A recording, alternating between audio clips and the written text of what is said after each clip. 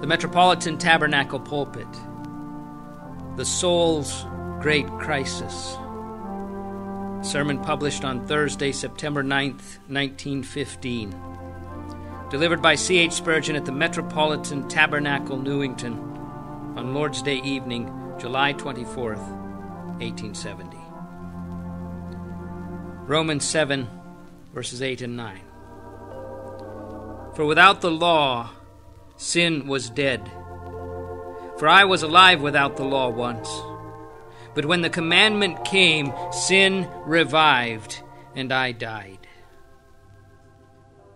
I remember once reading a chapter of a book which commenced with this heading The Inside of the World. The book, of course, was occupied very much with geology and to speculations about the interior of the globe.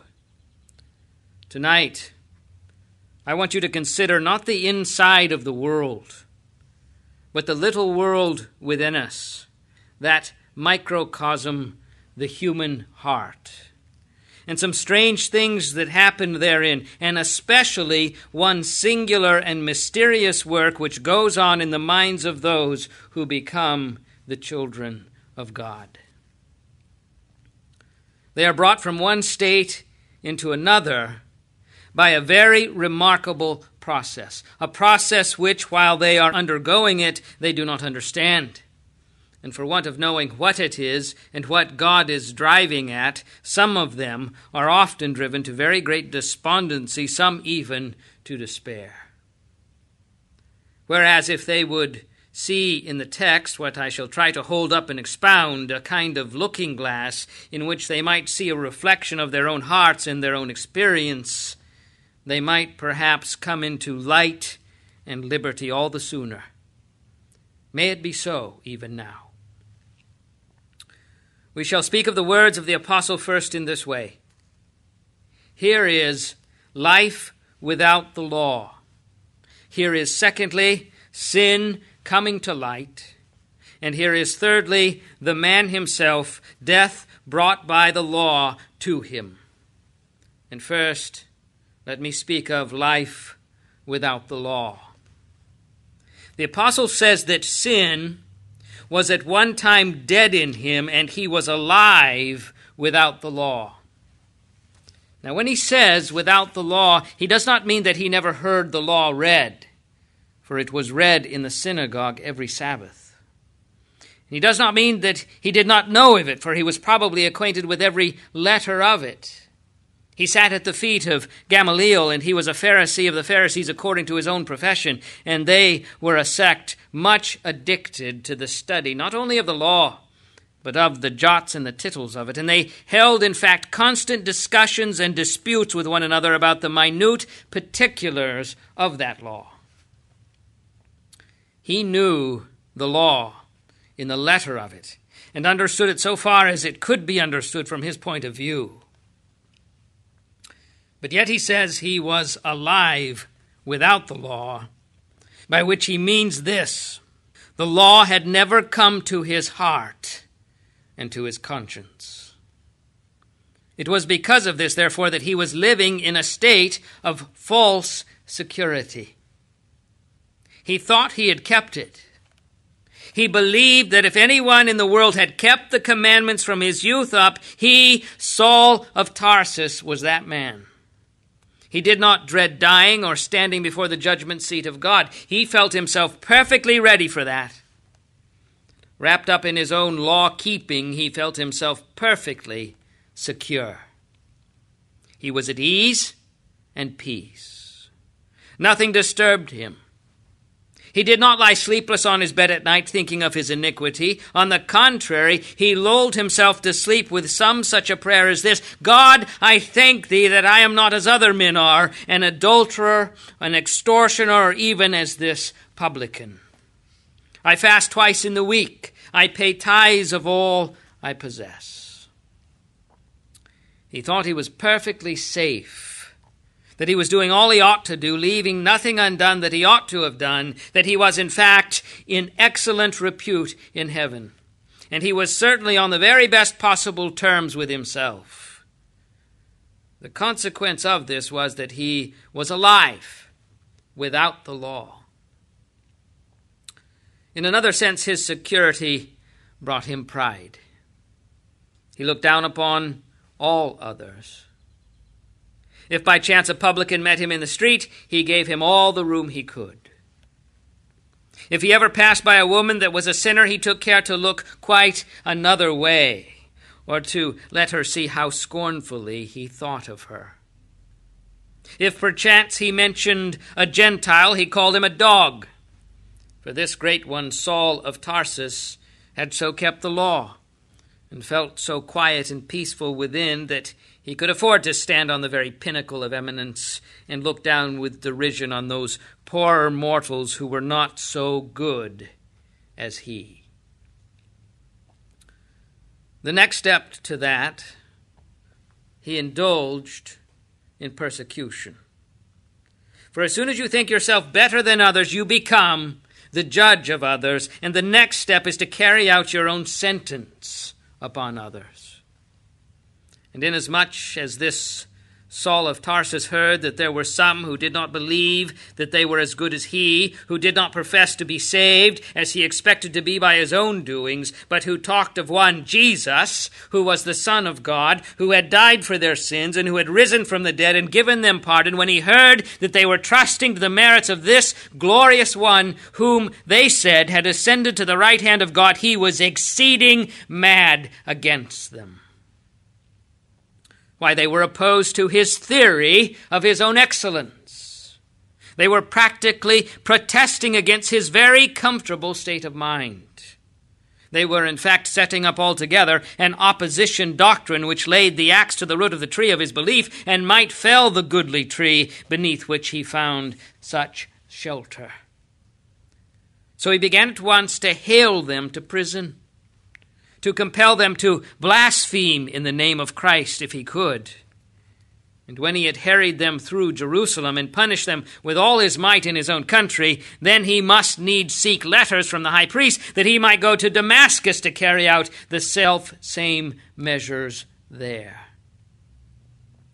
Paul was indeed alive. He was not only as good as he ought to be, but he was rather better and he now set out to make other people better. If he could not make men better by his talking to them, he would make them better by scourging and killing them. Great I, how lofty it stood, how it held up its head. I was alive, said he, but alas, Paul, Thou didst not understand the law that soon would have cut thee down and killed thee, and killed thine I, and brained thee, and left thee dead on the spot. Now, in what respect was Paul alive without the law? To answer this, we will not speak so much of Paul as of many others who are in the same state. Some are alive without the law because they have never seen the spirituality of it. Their notion was that thou shalt not commit adultery meant simply an act of uncleanness. They felt perfectly innocent, therefore. But if they had known that it meant a great deal more, that the law condemned them if there had been even an unclean thought, and that uncleanness of heart was as obnoxious to God as uncleanness of life, then their life would soon have to come to an end. Their life of pride and security, for they would have found that the law would not give them the shelter, though they thought it did. Thou shalt not kill. Why, there is no man here, I suppose, but what would say, I am clear there, I've never killed anybody. But, my dear friend, I can understand your being alive without the law if you do not know, as you ought to know, that that commandment means that even anger is murder. And he that is angry with his brother has killed him in his heart. What if you have never struck him, yet if you would have liked to do so? What if it never came to actually felling him to the ground, yet if you have spoken bitter words these show what you would have done, and this is set down in God's book as being a sin, a sin for which He will require you to give an account at the last great day. Now, Paul had never seen this. But once upon a time, and that was through the little window of that commandment, Thou shalt not covet, Paul saw the light, and he said to himself, What? Does this law condemn me for having a covetous desire? Ah, then, said he, I am not so secure as I thought I was. I cannot afford to be proud. I cannot afford to judge others. I may judge myself. He lived in that proud, haughty life because he did not understand the law. There are many others who are living in the same self righteous way. Good, self righteous people wrapping themselves up in the garment of their goodness because they have really been very careless about what the law is. They have not looked into it. Whether there be a law of God or not has really never been thoroughly and deeply considered by them. They know it as a matter of religious teaching, but nothing more. Oh, sir, how easily ought your conscience to convict you for when a subject does not even care to know whether a king has a law or not, what a traitor he is already. When he says, It is no business of mine to know the king's will, I do not care what the king's will is. Why, if he hath committed no overt offense, that of itself is an offense. He stands out as one convicted of being a traitor and guilty of sedition and treason against his king. There are others who say in their heart, if they won't put it into words, for most fools, according to David, are not such fools as to speak out loud.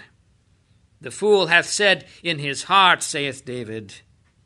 They say in their heart, How doth God know? And is there knowledge with the Most High? What if we do break his law? Does he care about it? And then they cap it all by saying, is he not very merciful? He won't be severe with us poor creatures. What if we have offended? We will whisper a prayer or two when we are dying, and all will be blotted out. Thou thinkest that God is such a one as thyself? Because thou canst trifle with sin, thou imaginest Jehovah can do so? Oh, if thou didst but know his law, didst but understand how inflexible it is, and how true is his declaration that he will by no means spare the guilty, which means he will by no means spare thee, thou wouldst soon lay aside this easy-going life of thine, and no longer couldst thou live as thou dost now live, thou wouldst be slain by the word of the Lord. In addition to these, I have no doubt that there are many professors of religion who are living without the law. I mean that they are living reputable, respectable Christian lives, and they themselves believe they are converted, but they are alive without the law. That is, there is mingled with their faith in Christ some sort of trust in themselves. They have never seen that the law puts an end to all human power, strength, and merit as any assistance to Christ in the matter of salvation. I've sometimes wished that some of our younger brethren and sisters who do not seem to have felt very deeply in their hearts the work of Christ might for once feel what it is for the commandment to come into their souls and lay them prostrate for if it ever did, then their new life which they would receive from Christ would be of a deeper and I trust of a more effective power on their hearts and lives and upon their general walk towards Christ and His church. You see, then, dear friends, there is such a thing as being alive without the law. A man may be in such a state as to think it is all right because he does not know the law. And let me say there is no more foolish and dangerous condition in the world than this. A man who has never cared about the law and does not know it, and therefore concludes that he is righteous, is like a person who thinks he is rich or tries to think he is, and keeps up a large house and his carriage with a large expenditure. Can he afford it? How about his books? Well, he has had some few difficulties, but he met one debt by a loan, and when that loan comes due, he will meet with that with another. He says he is all right. He believes he is all right. He thinks he is all right. Does he ever read his books? Oh, no. He says they are very dry reading. He does not want any stock taking. He does not want anybody to look into his affairs. Now, without any kind of guesswork, every businessman knows how that will end. He knows that it means bankruptcy, ruin. So it does with a man who says, All right, I do not care to inquire about my soul affairs.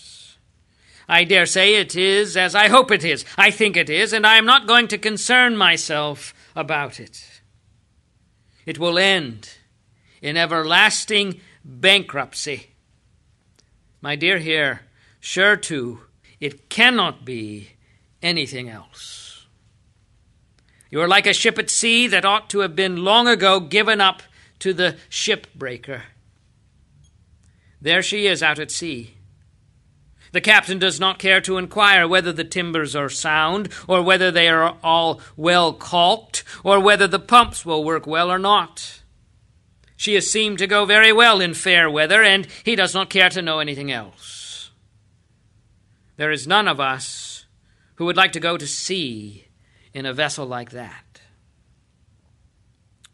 We would want to know whether the vessel would stand the strain of a storm, whether she was seaworthy, and if she were not so, we would rather keep on shore. Many of you are in rotten vessels tonight, ships that are worm eaten through and through and you will find them go to pieces when once a storm comes up.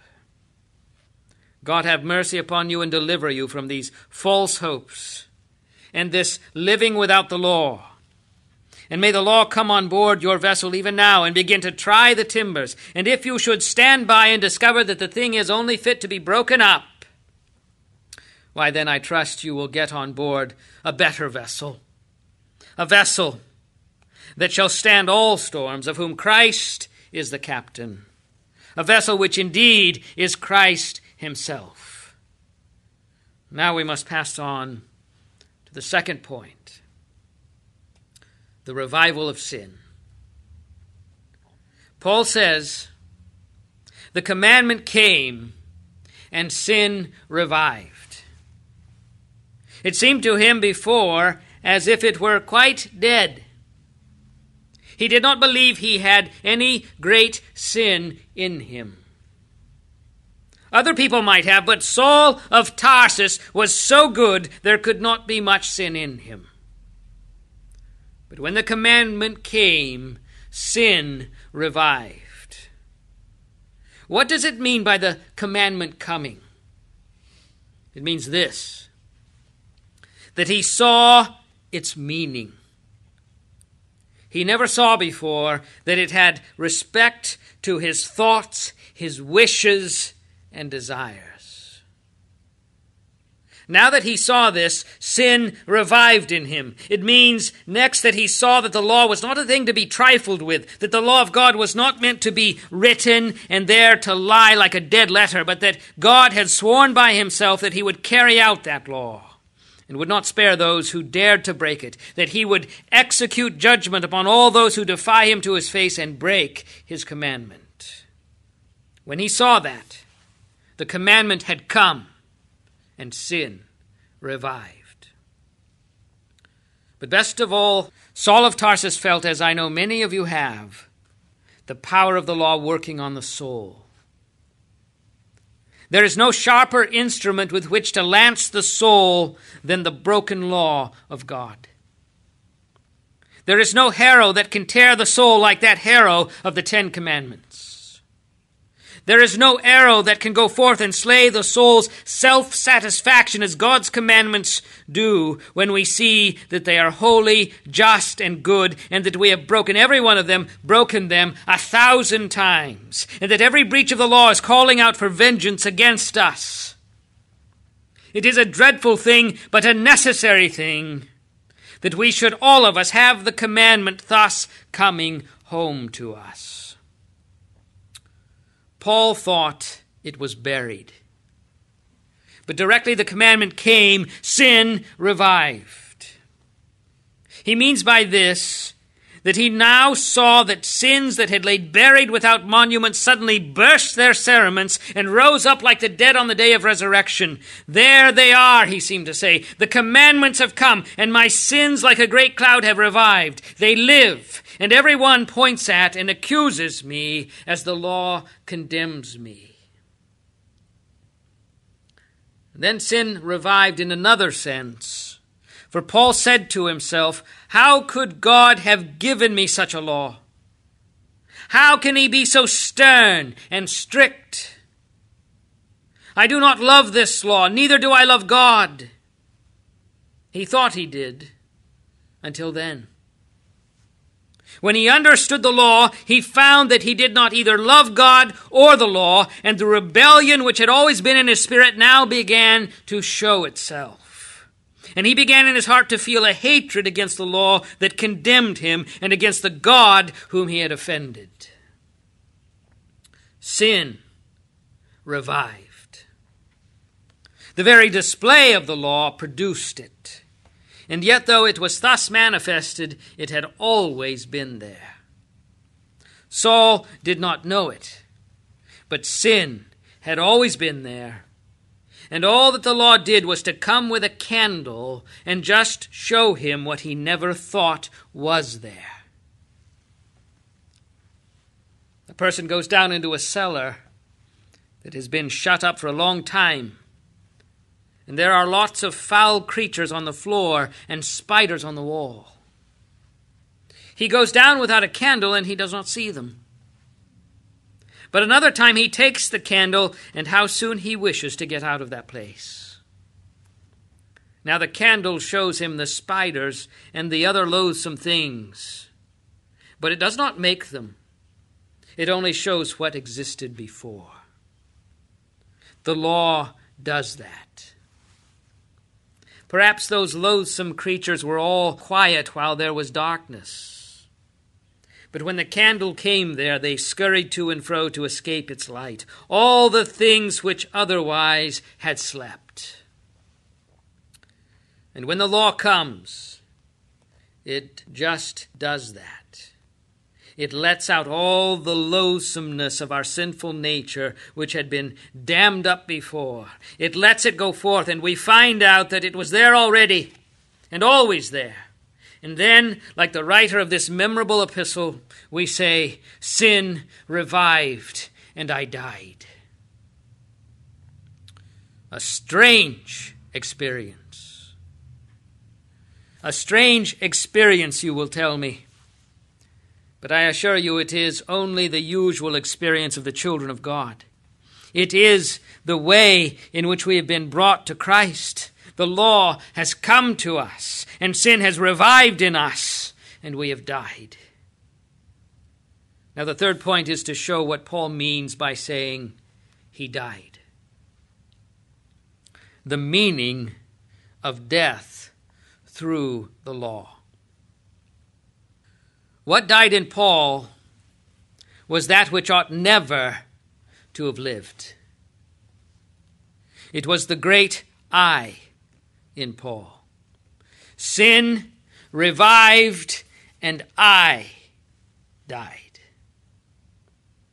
That I that used to say, I thank thee that I am not as other men that I that folded its arms in satisfied security, that I that bent its knee in prayer, but never bowed down the heart in penitence, that I died. The law killed it. It could not live in such light as that. It was a creature only fit for darkness and when the law came, this great I died. And I think it means this. First, he died in this respect. He saw he was condemned to die. He heard pronounced upon himself the sentence of condemnation. He had just thought so. He would have felt insulted if anybody had told him so. But now he seemed to see the great judge of all summoning him before him and accusing him of having broken these commands and saying, Depart, ye cursed one, for thou hast broken my law. He died then, in the sense that he felt condemnation pronounced upon him. A dreadful feeling that. Then, next, all his hopes from his past life died. He used to look back with great comfort upon his fastings, his almsgivings, and temple going. But now he felt, what an awful hypocrite I've been all along. For I've only been there with my body, my heart never went there. I was keeping God's laws, I thought, but I never loved that law at all. I find now I hated it. Or if I'd understood what it was, I should have hated it. I only loved the shell of it. I did not know its kernel. I merely loved its outward breath because I hoped to gain by it, but the law itself I did not love, nor God either. So all the past withered up.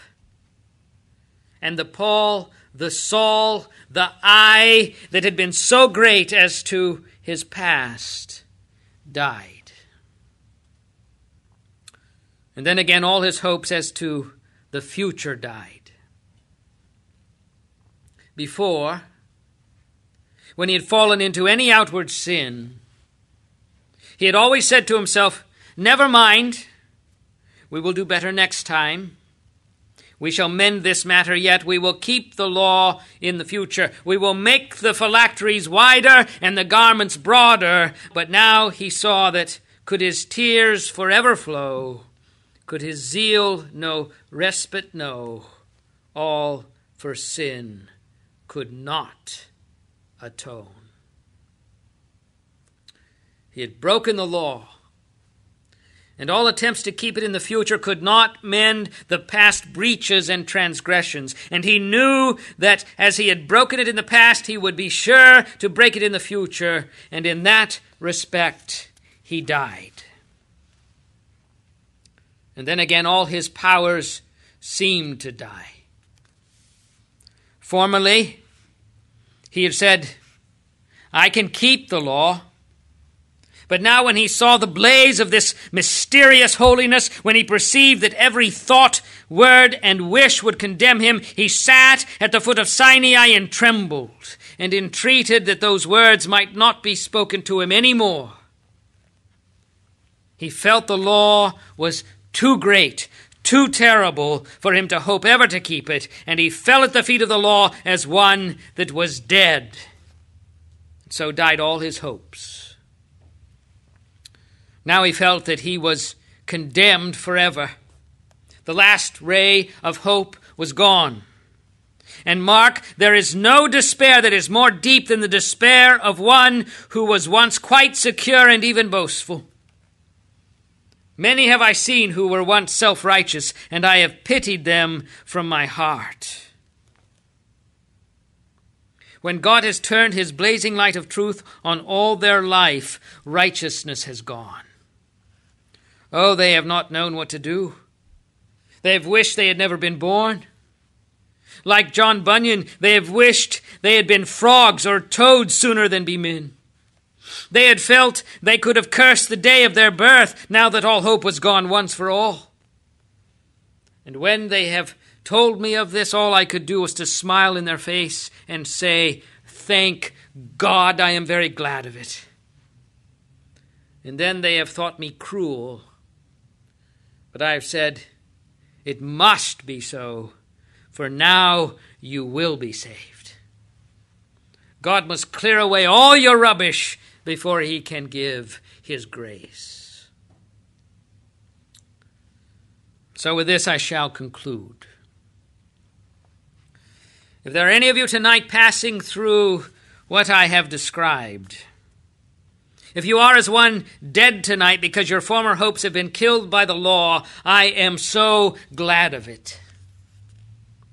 But let me tell you, do not think your case an unusual one.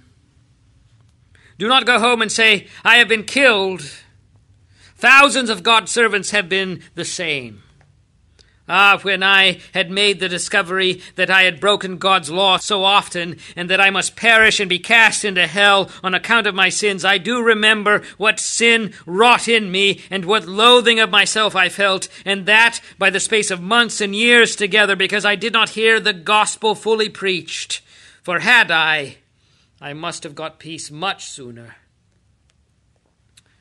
Now, you, dear friends, will be helped tonight when I tell you it is nothing unusual.